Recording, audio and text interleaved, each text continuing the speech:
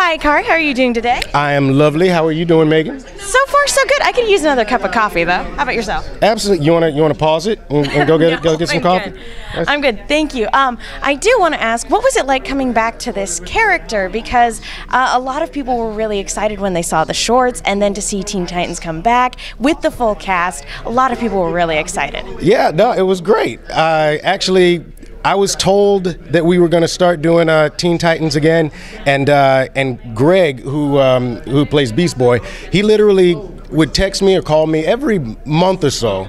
But when, when we didn't have a show and was like, all right, are we doing Teen Titans? I think we're doing Teen Titans. I feel like we should be doing Teen Titans. And uh, and I think that he just kind of he's got that kind of crazy spirit thing that just makes things happen. And uh, and next thing I know, Sam Register kind of pulled me aside at WonderCon and said, um, and said, you know, we're gonna do some more Titans. And literally, my phone buzzed, and it was Greg saying, "Khary, are we doing Titans?" I was like, "Yes." You can We- finally say yes. Oh my gosh, yeah, yeah, it's so amazing. That was my first voiceover audition was was uh, for Teen Titans for for Cyborg. So, so it was pretty much just me kind of bouncing off the walls, having a great time, and uh, and so to come back and be able to do that, it, it really means that that I can do whatever I want because it's just me, you know.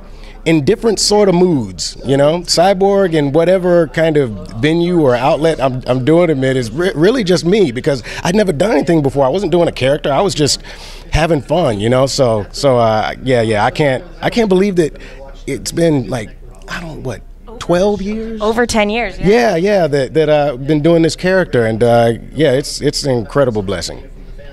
With uh, with Cyborg, he's always been a lot of fun, but the new show, Teen Titans Go, was a shift into more of a comedic take than like a serialized Yeah, with a but serious at the same story. time, I also was a, a bear bear in a tutu in one of the old episodes. You know, I also uh, you know ran around you know uh, trying to eat everything in the city. You know, ATMs, you know, you know park benches, you know things like that.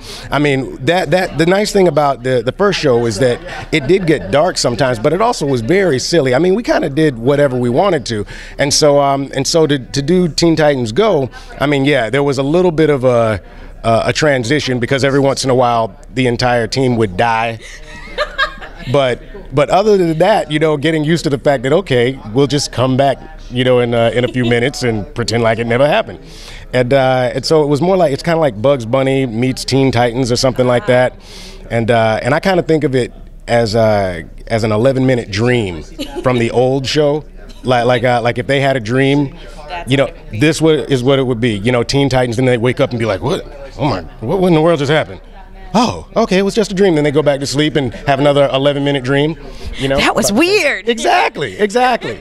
So, so it's all essentially, you know, kind of, it's all us, you know, just, um, just having a little bit more fun because we, we don't have some kind of serialized plot.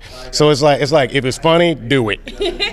That's how we feel. That's how we feel. Now, you mentioned it was like a crossover. Uh, we had a crossover with Young Justice earlier Uh-huh. this season. What other crossovers would you like to see in the future? Oh, I don't know. Um, I would love a, a crossover with with uh, the uh, the Justice League, maybe, or um, I don't know, Scooby Doo. You know, It's all Warner Brothers. um, it's close enough. It's close. I think it is Warner Brothers, actually, isn't it? Yeah, yeah. So that'll work. So we could do that. Get, get some Scooby stuff. Yeah, I think that'd be fun. cool. Solve a mystery. Dude, let's get in the van. Let's do it. You know? So, uh, since you're a fantastic improviser and you said that they kind of let you do what you want, do they give you the chance to just kind of riff with the other actors? Well, they don't give us the chance, but we do it anyway. and then, uh, and, and if it happens, be, no, actually, everybody's really fluid. You know, the writers write the script, but then the artists come back and, and they get ideas and they, they rewrite it. And then uh, we'll get ideas and we rewrite it. And then they'll just, they'll leave things out. You know, they'll leave like, they'll, they'll say, write a song, or they'll write a song and then they won't put any music in and just have us make it up, you know?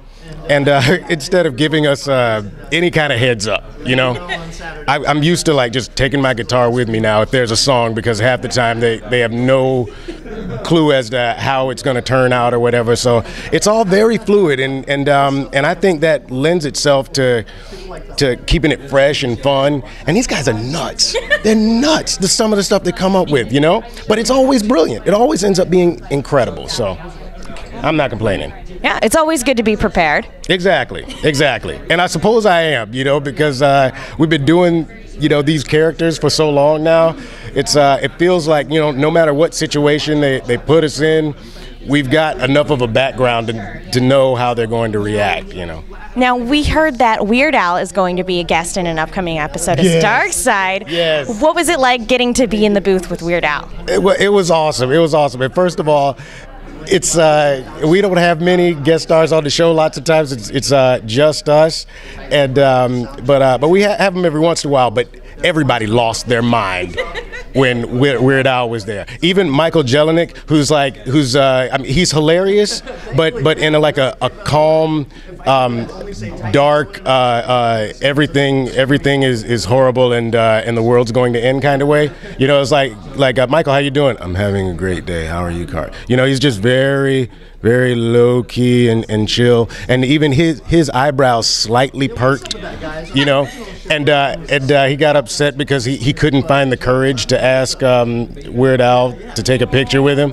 So of course I was like, "Hey, Weird Al, he doesn't want to want to say, but he really wants a picture with you," you know. And so that embarrassed him. So there was another reason for him to be really upset. But uh, but But he got his picture, right? exactly, and I saw a little twinkle in his eye. So there you go. Yeah, we we all loved it. I mean, it's crazy. That's Weird Al. It's Weird Al, and I just love that he's Darkseid because there gonna be so many people who are gonna be so mad that he's Darkseid. Oh my gosh. One last question. Uh, we at AfterBuzz are big Robots in Disguise fans. Yeah. What's your favorite part about getting to voice Grimlock? Oh my gosh. My, my favorite part is being able to hang with uh, with my cast. I love those guys so much. We we have a ball, and um, and uh, and I get to be kind of the comedy relief, and and um, I just blurt things out, and you know sometimes they get in there, sometimes they don't. I bring a little of that that uh, Teen Titans Go, you know, kind of mentality to the um, to the proceedings. Yeah, yeah. But uh, and and also, I mean, I grew up on Transformers. I, can't believe that I'm playing Grimlock. You know, and I mean, he looks so cool. He, he- he's uh, he's got a, he's, his personality is he's such a big teddy bear. You know, I, I there's not much I don't love about it, honestly, Megan. Oh, he's Alexis's um, personal favorite. So thank you so so much for taking the time Well, to talk to us. Alexis, you and I agree. Let's talk about it sometime.